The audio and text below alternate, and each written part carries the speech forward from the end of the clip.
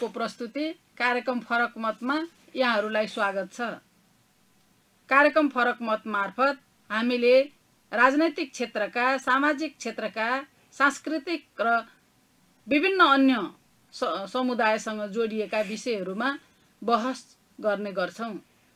विशेषतः हाम्रो बहसबाट राजनैतिक रूपमा देखिएका सामाजिक रूपमा अभियानहरू रोकिएका अथवा गति लिन नसकेका विषयहरूलाई गतिवान बनाउने कुरामा भूमिका खेलोस् भन्ने उद्देश्य लिएका छौँ। आजको हाम्रो कार्यक्रममा वामपन्थी आन्दोलनका अग्रज अतिथिको रूपमा आउनुभएको छ। वामपन्थी आन्दोलनका अग्रज अतिथि टङ्कनाथ पौडेलज्यूलाई युनिभर्सल टेलिभिजनमा स्वागत गर्न चाहन्छु। धन्यवाद। आजकल जीवनचर्या कस्तो चल्दैछ?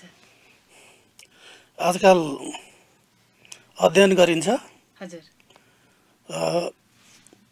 राजनीति बहस गरिन्छ केही साथीहरूसित। हजुर। भेटघाट बहस यो राजनीतिको रूप कस्तो भयो? म त वामपन्थी विचार राख्ने मान्छे। अब वामपन्थी मात्रै नभएर जनवादी राज्य व्यवस्था ल्याउनुपर्छ भनेर चाहिँ राजनीतिमा लागेको मान्छे। तर अहिलेसम्म सम्भावना त्यति देखिएन। अनि अहिलेको राजनीतिलाई बहस छलफलमा चाहिँ लान्छु केही साथीहरू छन् मसित। हजुर। यहाँ कम्युनिस्ट आन्दोलनमा लाग्नुभएको कति वर्ष भयो? अँ, त्यो धेरै भयो। मैले इन्ट्रेस्ट राखेको चाहिँ दुई हजार पन्ध्र सालतिरै हो। दुई हजार पन्ध्र साल राजनीतिमा। हजुर। अब म अलि सानै केटाकेटी नै जस्तो थिएँ त्यो बेला। कसको सम्पर्कले यहाँ कम्युनिस्ट आन्दोलनमा लाग्नु एकदम वासुदेव श्रेष्ठ रामेछापमा चाहिँ जो हुनुहुन्थ्यो। हजुर। अनि नारायण बाबु श्रेष्ठ। उहाँहरू दुईजनाको सम्पर्कबाट म राजनीतिमा प्रभाव परेँ। त्यसबाट पछाडि ऋषि देवकोटा मेरो सहयात्री। ऋषि आजाद देवकोटा। हो। हजुर। एकदम उहाँसित चाहिँ आठ दस वर्ष सँगसँगै नै हिँडेँ म। सँगसँगै काम गरेँ। हजुर। जब ऋषि देवकोटा मारिनुभयो दुई हजार सैँतिस सालमा अनि त्यस पछाडि चाहिँ चालिस सालमा आएपछि पार्टी फोटो मोहन विक्रमजी निर्मल लामाजीहरूसित अनि म लामासित लागेँ। निर्मल लामाको समूहसँग जोडिनु जोडिएँ म। नेकपा चौमा भनेर चौथो महाधिवेशन हजुर। को नामले अनि त्यसमा धेरै काम गरेँ। त्यो बयालिसमा फेरि उहाँहरू प्रचण्ड अ, मोहन विक्रम पनि छुट्टिनु भयो। अनि त्यस पछाडि चाहिँ जोड घटाउ हुँदै गयो। अनि छयालिसमा आएर यो पुरा बहुदलीय उसमा जानुपर्छ भनेर पार्टीले निर्णय गर्यो। हजुर। अनि त्यसबाट त्यहाँ चाहिँ लागियो बेसरी आन्दोलनमा लागियो। यहाँ पन्ध्र सालमा कम्युनिस्ट पार्टीमा लाग्दाखेरि सम्पर्क सम्बन्ध भएका प्रभावशाली नेताहरू को को हुनुहुन्थ्यो? त्यो बेला पन्ध्र सालमा मैले इन्ट्रेस्ट राखेर मेरो जिल्लामा वासुदेव र नारायणबाबु श्रेष्ठलाई नै भेटेर सम्पर्क कुराकानी गरेँ। अनि एक्काइस सालतिर आएपछि अनि ऋषि देवकोटा अनि मोहन विक्रमको पक्ष ऋषि देवकोटासित चाहिँ भेट गरौँ। उहाँसितै लगातार मैले काम गरेँ। त्यो बेलामा के के गर्नुभयो? त्यस्तो एकदम लगातार? सङ्गठन बनाउने नै प्रमुख कुरा हो। हजुर। एकदम सङ्गठन बनाउन गोप्य रूपमा हिँड्नु पर्थ्यो भूमि भूमिगत शैलीमा। एउटा सानो कथा पनि बताइहालौँ।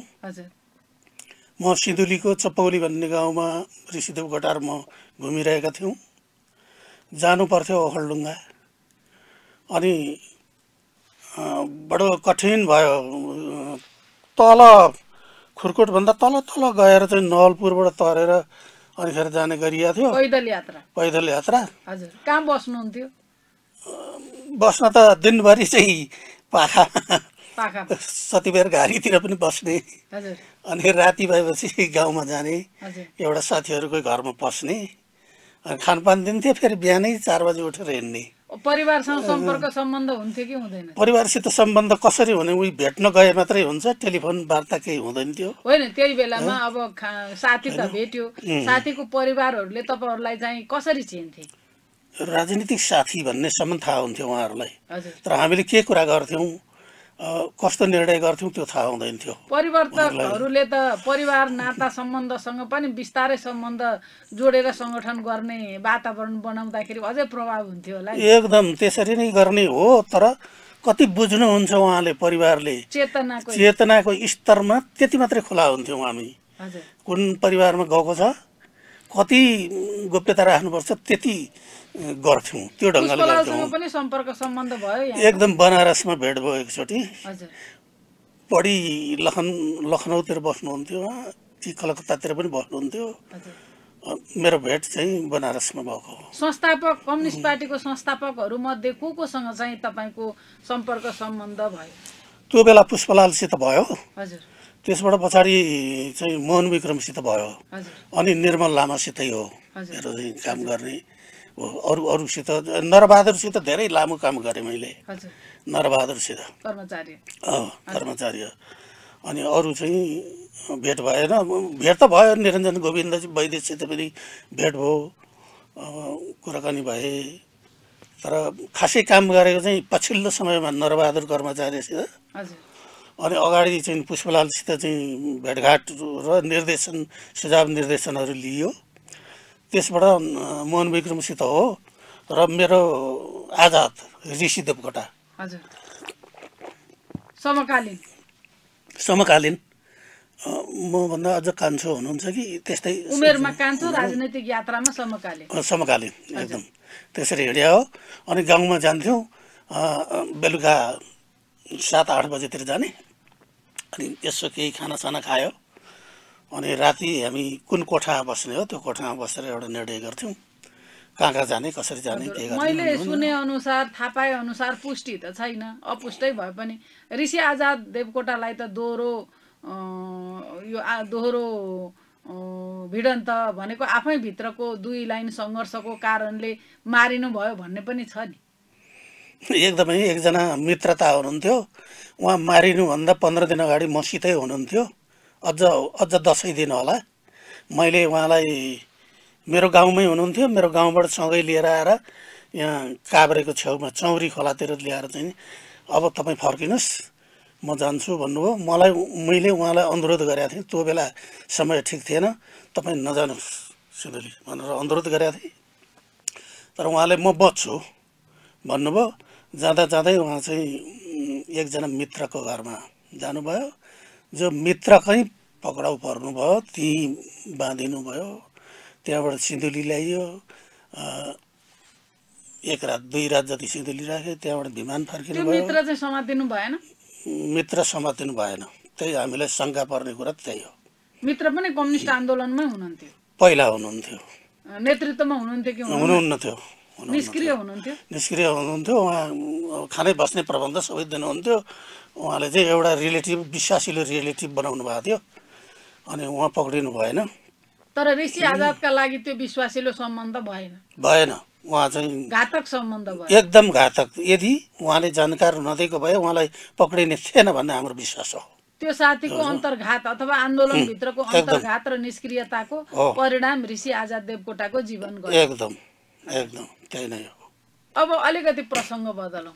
यहाँहरू कम्युनिस्ट आन्दोलनमा लागिरहँदा वाम आन्दोलन रोजिरहँदा के कुराको अपेक्षा गरेर वाम आन्दोलनमा लाग्नु समाहित हुनुभएको थियो? त्यो बेलाको जल्दो बल्दो। उमेर होइन? अब व्यापार व्यवसाय अरू धेरै कुरा। गर्न सक्नुहुन्थ्यो। अहिले चाहिँ अहिले यो पैसाले किनबेच हुने राजनीतिमा तपाईँसँग पनि प्रशस्त पैसा हुन सक्थ्यो होइन? जुन भन्यो त्यही पद चाहिँ तपाईँले किनबेच गर्न सक्नुहुन्थ्यो। के आशा गरेर त्यो बेलामा लाग्नु धेरै धेरै राम्रो प्रश्न यहाँको।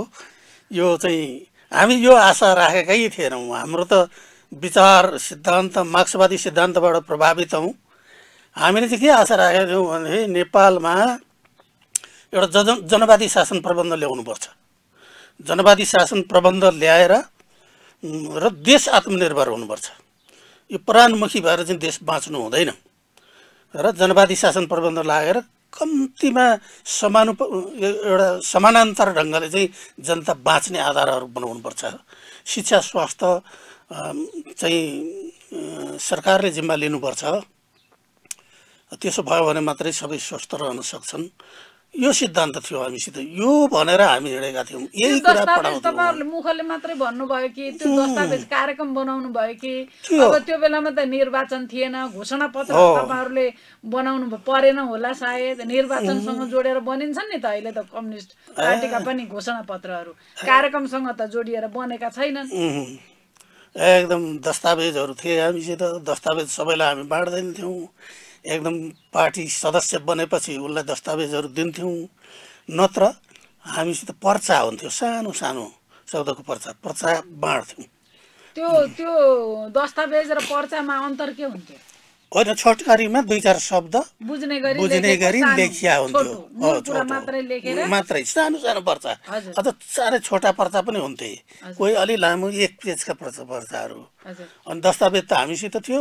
तर दस्तावेज चाहिँ हामी दिँदैन थियौँ सबैलाई अनि डर पनि थियो। त्यो दस्तावेजको आधार आधारमा फेरि गिरफ्तार गर्ला भन्ने प्रशासन पञ्चायत प्रशासनको डरको कारणले पनि दिनुहुन्न थियो। म त सिडिओ कार्यालयमा गएको पचपन्न वर्षमा मसित नागरिकता पनि थिएन। नागरिकता पनि थिएन। थिएन। पचपन्न वर्षमा चाहिँ नागरिकता बनाउनु पऱ्यो भनेर म गएँ। अनि त्यो बेला खुला भयो। अनि गएँ। किन यति बेरसम्म नबनाएको? भन्ने प्रश्न गरेँ। अब मैले चाहिँ सामान्य तरिकाले भने यो जग्गा बेच्ने वा जग्गा किन्ने वा जागिर खाने वा विदेश जानेलाई नागरिकता चाहिने रहेछ त्यो मैले केही पनि गरिनँ। लिन आइन। भने उनको केही उत्तर भएन त्यसबाट अनि दिएखुरुको बनाइदिए। त्यसरी बनाएको हो। खास त त्यो म चाहिँ जाने- सिडिओले सोध्नु पर्ने विषय थिएन नि त। उसले शङ्का गरे हो। किन नबनाएको उनीहरूले उनीहरूलाई थाहा थियो। के छ? कम्युनिस्टहरूले बनाउँदैनन् भन्ने नै थियो उनीहरू। उनीहरू चिन्दथे चिन्दथे त्यही कारणले एक दिन त्यो हाम्रो प्रक्रिया कसरी गएको थियो मैले अघि जोड्न भ्याइनँ। एक दिन चपौली घुमेर हामी चाहिँ सुनकोसी तरेर रामेछाप जाने योजनामा थियौँ। हाम्रो हिँड्ने बाटो तल गडौली खोलाबाट सिधुलीबाट पसेर अनिखेरि वृत्ता भन्ने ठाउँबाट चाहिँ तामाकोसी तरेर सुनकोसी तरेर अनिखेरि रामेछाप पुग्थ्यौँ। तर त्यो त्यो दिन ऋषिजीलाई के उ गर्यो? यतैबाट जाउँ टङ्कजी भन्नुभयो। बाटो छोट्याउनु बाटो छट्याएर सदरमुकामबाट अब त्यताबाट जाने भनेको सदरमुकामबाटै हो। अनि मलाई झसक्क डर लाग्यो। ऋषि देवकोटाकै घानमा म पनि त परिहाल्छु। सकिन्छ त्यसरी सकिन्छ सकिन्छ भन्नुभयो। अब भनेपछि माने सँगसँगै सँगसँगै गयो। हुलाक डाँडा भन्ने एउटा ठाउँ छ सानो पसल एउटा थियो। त्यहाँ बसेर त्यो पसलले चिन्थ्यो। अनिखेर यसो हाँस्यो पसलेले चिया ल्याएर दियो चिया खाइयो। म चिया खाँदै थिएँ। ऋषिजीले भन्नुभयो तपाईँ चिया खाइसकेर हुनुहोस् है। म यहाँ फर्तिर हुन्छु भन्नुभयो। अनि यसो पछाडि जानुभएको थियो। म चिया खाइसकेर मेरो झोला बोकेर म जाँदा उहाँले चाहिँ एउटा डोको एउटा डोकोमा के के थाङ्ना थरा अथवा बोरा के हाल्नुभएको छ र डोको खकन टेकुवा पनि छ उहाँसित। त्यसै टक्क गरेर बाटा निस्किनु भयो अनिखेर अब तपाईँहरू म नबोल्ने है भन्नुभयो। त्यति हो उहाँ चाहिँ ठुलो हुल त्यति बेला ढाक्रेहरूको प्रशस्त हुल हुन्थ्यो। पाँच सातजनाको दस बाह्रजनाको पन्ध्र बिसजनाको हुल हुन्थ्यो। पनि उहाँले ढाक्रे जस्तै ढाक्रेको प्रवेश गरेर आफ्नो गन्तव्यतिर एउटा सर्ट र चाहिँ लुङ्गी टक्क बेर्नु भएको छ अनि ढाकर बोक्नुभयो त्यो टेकुवा पनि टेकेको छ। एउटा ठुलो हुलमा गएर पस्नुभयो। उहाँ स्वाइसी हिँड्नुभयो अब म चिन्छु नबोल्ने भनेको छ म अगाडि हिँडेँ अगाडि गयो पर गएर पर्ख्यो अनि त्यो हुल फेरि कटिसक्छ। यसो हेराहेर मात्रै हुन्छ बोलिँदैन। गर्दै गर्दै सदरमुकाम कट्नुभयो उहाँ। सदरमुकाम कट्नुभयो म पनि कटेँ। मैले चाहिँ झोला मात्रै बोकेको छु त्यो बेला झोला त्यही डोरी वाल झोला यसो खास भयो नि अनि सदरमुकाम कटेपछि हिले पानी भन्ने एउटा चाहिँ कुकुवा धेरै ठाक्रेहरू बढ्ने ठाउँ छ त्यहाँ पर्खिनुहोस् है तपाईँ भन्नुभयो। अनि त्यहाँ गएर म पर्खेँ। उहाँ त्यहाँ आइपुग्नुभयो त्यो हुल आइपुग्यो। आइपुगेपछि उहाँले एक मिनट यतै बस्दै गर्नुहोस् है। भनेर यसो बाटो पनि लाग्नुभयो त्यो डोको सबै सबै थन्क्याउनु भयो। थन्काउनु भएछ। ठाउँ थियो? अनि कुर्ता सुरुवाल च्याट्टा लाउनु हो कुर्ता सुरुवाल र यसो एउटा गम्छा हाल्नुहुन्थ्यो। उहाँ टोपी लाउँथ्यो उहाँ चाहिँ टोपी पनि लाउनुहुन्न थियो। अनि त्यो ढङ्गले निस्किनु भयो। अनिखेर हामी रामेछाप मेरो गाउँ हुँदै ओखलढुङ्गा गयौँ त्यसरी हिँड्थ्यौँ। भनेको त सङ्गठन त साह्रै दुःखले बनाउनु भएको थियो। कम्युनिस्ट पार्टीको स्थापनापछि निर्माणको क्रम अ, मा त धेरै दुःख गर्नुभयो। अब अलिकति प्रसङ्ग बदलौँ। यहाँले कम्युनिस्ट आन्दोलनको यात्रा गरिरहँदा सङ्गठन गरिरहँदा आफ कम्युनिस्ट पार्टीसँग जोडिएका नीति सिद्धान्त विचारहरूलाई जनताको माझमा लैजाने क्रममा अहिलेका को को नेताहरूसँग सम्पर्क सम्बन्ध गर्नुभएको छ सहकार्य गर्नुभएको छ? यस्तो भयो। यो बौद्ध अगाडि त अब पार्टी नै छँदै थियो। त्यही चौमा जो भने त्यसलाई एकता केन्द्र बनाइयो। एकता केन्द्र भएपछि के अरे चाहिँ प्रचण्डजीहरू पनि सामेल हुनुभयो। त्यसबाट पछाडि प्रचण्डजी फेरि फुट्नुभयो। फुटेर उहाँहरू आन्दोलनमा लाग्नुभयो। हामी आन्दोलनमा लागेनौँ। किन भनेको जन पछि चाहिँ अडचालिसको निर्वाचनमा हाम्रो अलिकति चाहिँ कृष्णबहादुर महराहरू निर्वाचित हुनुभयो। अनि त्यो पछि त्यसमा चित्त नबुझेर फेरि उहाँहरूले चाहिँ जनयुद्धको घोषणा गर्नु उहाँहरू तुरन्तै जनयुद्ध गर्नुपर्छ भनेर भन्नुभयो। कहाँबाट थियो उहाँहरूलाई आश्वासन त्यो हामीलाई थाहा भएन। निर्मल लामाजीले चाहिँ के निर्णय गर्नुभयो भने युद्धको लागि दुईवटा कुरा हुन्छ। एउटा युद्धको तयारीमा हामी पुगेका छैनौँ। अर्को मनस्थिति पनि तयारी हुनुपर्छ। आत्मगत परिस्थिति पनि तयारी हुनुपर्छ। मनोवैज्ञानिक रूपले युद्धका लागि तयार तयार छैनौँ हामी भन्ने कुरो चाहिँ निर्मल लामाले युद्धका लागि तयार छैनौँ भन्नुभयो। प्रचण्डहरू युद्धका लागि। तयार भएर अनि अर्को निस्किनु भयो। जनयुद्धको घोषणा जानुभयो। अनि उहाँहरूले युद्ध गर्नुभयो। तर हामी सामेल भएनौँ। सामेल भएनौँ। समर्थन थियो हुन्छ भने होस्। त्यो समर्थन थियो। तर हामी सामेल अहिलेका माओवादी नेताहरू को कोसँग सहकार्य गर्नु भएको छ? मन्त्री पनि हुनुभएको छ केही त। बाबुरामसितै हो। बाबुरामसितै थिएँ। प्रचण्डसितै पनि भेटघाट भएकै हो। विशेष गरी चाहिँ बाबुरामसित चाहिँ म चालिस सालदेखि नै नारायण काजी। त मेरो नेतै हो उहाँ त। उहाँ त नेतै हो। अन्त्यमा एमालेमा के अरे जाम उहाँ उहाँले अन्त्यमा माओवादीसित जाम भनेर भन्नुभयो। मैले त्यो बेला भने माओवादीको गन्तव्य अब एमालेसित हो। त्यसो हुनाले जानु उचित छैन भने त्यो कुरामा अमिक शेरचन्द्र लीलामणि करिब करिब सहमत हुनुभयो मेरो अगाडि ठिक हो। अमिक शेरचन्द्र लीलामणि पनि यहाँको सहयोद्धा नै हो। सहयोद्धा हो। धेरै वर्ष। अनि उहाँ उहाँहरूले त एकदम मेरो अगाडि चाहिँ त्यति बेला नारायण गाजी हुनुहुन्न थियो अमिक शरचन्द्र लीलामणि राखेर मैले कुरो गरेँ। नजाउँ। प्रचण्डको गन्तव्य एमालेमा हो। त्यसो हुनाले नजाउँ। भनौँ भने उहाँ सहमत हुँदा हुँदै उहाँहरूलाई एउटा कुरा म यहाँ गर्छु। कम्युनिस्ट पार्टीको कुरा गर्दा कम्युनिस्ट पार्टीको विशेषतः अहिलेसम्म संसारभरि प्र्याक्टिसमा आएको भनेको एउटा सशस्त्र जनयुद्धबाट सत्ताको प्राप्ति गर्ने अर्को नेपालमै पहिलोपटक प्रयोगमा आयो भन्नुपर्छ प्रत्यक्ष निर्वाचनबाट संसदमा जाने दुई सरकारमा जाने। दुई तिहाई बहुमत आयो भने दुई तिहाईको सरकार बनाउने नत्र संसदबाट आफ्ना आफ्नो प्रतिनिधित्व आफ्ना जनताको प्रतिनिधित्व सहितको आवाजलाई संसदमा उठाउने। यो दुईटा बाटो छ। अहिले त कम्युनिस्ट पार्टीको हिसाबले विप्लवजीले पनि सम्झौता गरिसकेपछि त सबै संसदीय बाटोमै जोडिएको भनेर भन्न मिल्दैन र? संसदीय बाटोमा जोडियो भन्न मिल्छ तर संसदीय बाटोबाट जनवादी राज्य व्यवस्था स्थापना गर्न सकिँदैन भन्ने हाम्रो विश्वास हो। पनि तपाईँहरूको निष्कर्ष निष्कर्ष यो हो। अब अहिले यस्तो बेलामा चाहिँ सशस्त्र सङ्घर्ष गर्न सकिन्छ त? सकिँदैन। हजुर। छ यसको चाहिँ विकल्पमा के छ विकल्पमा छ। यो संसदीय व्यवस्था भनेको पुँजीवादी व्यवस्था हो। पुँजीवादलाई सिद्ध्याएर जनवाद लागू गर्नुपर्छ भन्ने हाम्रो सिद्धान्त हो।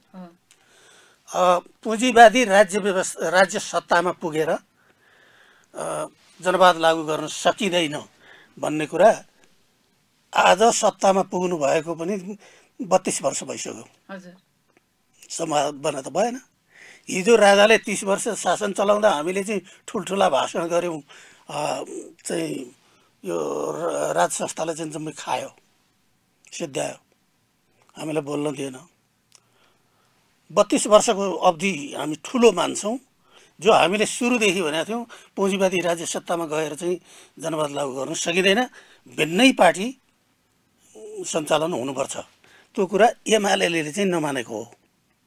ओपेन हुन्छौँ हजुर यहाँ अहिले ठ्याक्कै कुरा गर्दा पार्टीहरूले आफ्नो सिद्धान्त अनुसारको नीति र कार्यक्रम बनाउ बनाएर त्यो कार्यक्रमलाई सरकारमा जाँदा लागू गर्न सकेको भए त अहिलेको राजनैतिक दलहरू वामपन्थी दलहरूको यो अभिगत हुँदैन थियो। एकदम। उनीहरूले नीति तथा कार्यक्रम लागू नगर्दा पार्टी भन्नु यहाँले भन्नुभयो माओवादी पार्टी एमाले पार्टी अथवा अरू कम्युनिस्ट पार्टीहरू त आफ्ना नीति कार्यक्रमभित्र टेक्न नसकेको कारणले र तीसँग जोडिएका आधारभूत तहका कार्यक्रम लागू गर्न नसके बनाउन नसकेका र लागू गर्न नसकेको कारणले असफल भएको भन्न मिल्दैन र? मिल्छ। त्यही कार्यक्रम उनीहरूले चाहिँ एउटा बाटो नै ओए नै छोडे। हजुर। नीति सिद्धान्त एकातिर राखे, एकातिर राखे आफू सत्तामा गए। सँगसँगै मास। जनतासँग चाहिँ माससँग मात्रै उनीहरूले सम्बन्ध कायम त्यो माससँगको सम्बन्धलाई जीवन्त बनाउनका लागि मात्रै उनीहरूका सङ्गठन हुन् भनेर निष्कर्ष निकाल्दा फरक पर्छ? पर्दैन। त्यही हो। यथार्थ त्यही हो। उनीहरूले मास पार्टी बनाए मास पार्टीमै जाने र पुँजीवादी राज्य सत्तालाई ग्रहण गरे। उनीहरूले। विकल्प उनीहरूको केही पनि छैन कागजमा जे भए पनि व्यवहारले उनीहरूले जे लागू गरेका छन् ती सबै पुँजीवादी कार्यक्रमभित्रका कार्यक्रमहरू। हुन्। यहाँको निष्कर्ष त्यही। मेरो निष्कर्ष त्यही हो। हजुर।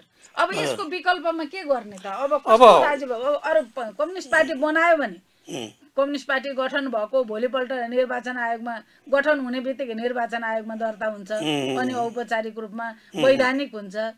अब कम्युनिस्ट पार्टी दर्ता भएर निर्वाचन आयोगमा दर्ता भएर फर्केको कम्युनिस्ट पार्टीले पनि त्यही सङ्गठन बनाउन थाल्छ। अनि कहिले निर्वाचन आउँछ अनि ढोक्सा थापौँला अथवा बल्छी थापौँला भनेर आ को नेतृत्वमा जाने को निर्वाचनमा जाने भनेर बल्छी थापेर बसेको हुन्छ। होइन? यो बल्छी थाप्ने प्रवृत्ति त कुनै पनि वामपन्थीहरूले वामपन्थी नेताहरूले वामपन्थी सङ्गठकहरूले छोडेनन् नि त।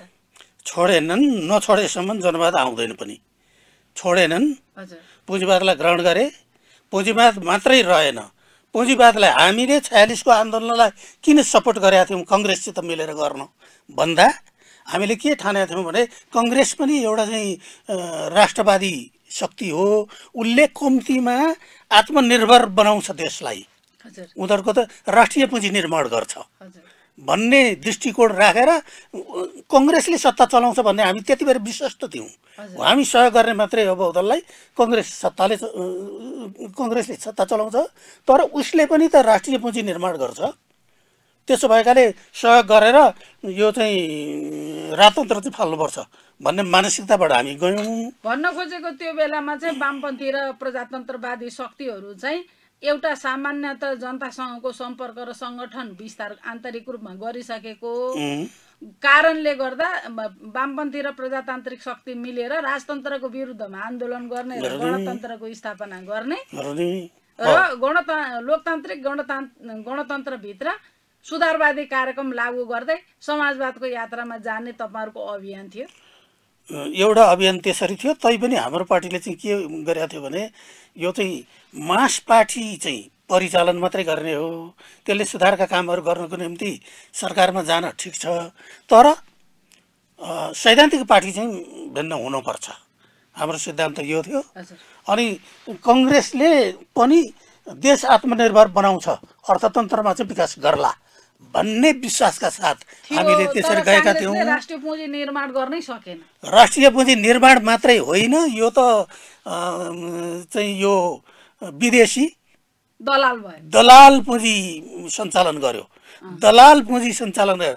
दलाल अर्थव्यवस्थाले कहिल्यै पनि देश बन्दैन हामी यसमा विश्वास अहिलेको आर्थिक मन्दी पनि दलाल अर्थतन्त्रको परिणाम एकदम एकदम हो। त्यति मात्रै नभएर देशमाथि चाहिँ आन्तरिक रूपले चाहिँ प्रभाव पार्ने जस्तो एमसिसी पास गरेको छ। अमेरिका। अनि भारतले चाहिँ नाका हरेक नाकामा मिचेर खाइरहेको छ। त ती कुराहरू पनि उसले चाहिँ त्यो गरिरहेको छ।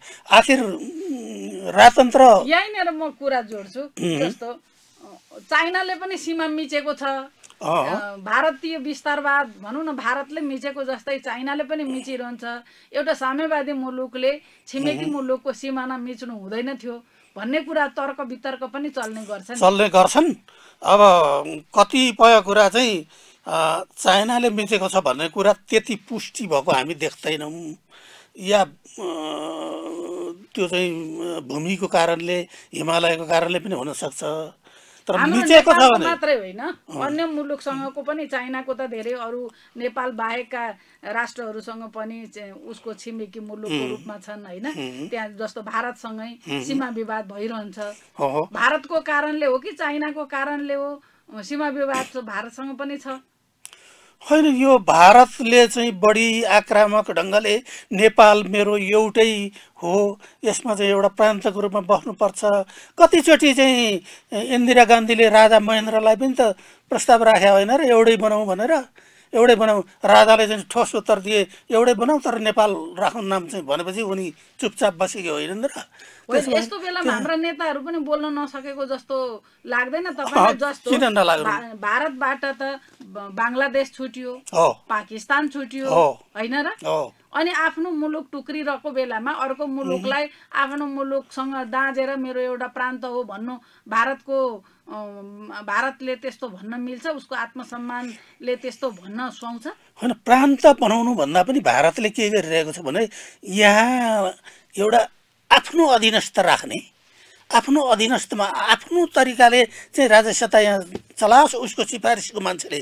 यहाँ चाहिँ काम गरोस्। उसले त्यसरी चाहन्छ उसले। राजनैतिक दलका शीर्ष नेताहरूले अडान लिने भारतका कुरासँग त्यहाँको कुटनैतिक विधि अनुसार हाम्रो कुटनैतिक विधि र उनीहरूको कुटनैतिक विधि अनुसार विदेशीसँगको सम्बन्ध सम्पर्कको व्यवस्थापन गर्ने र हाम्रा नेताहरू प्रभावित नहुने हो भने त हाम्रो मुलुक त्यसै स्वाधीन भइहाल्छ नि।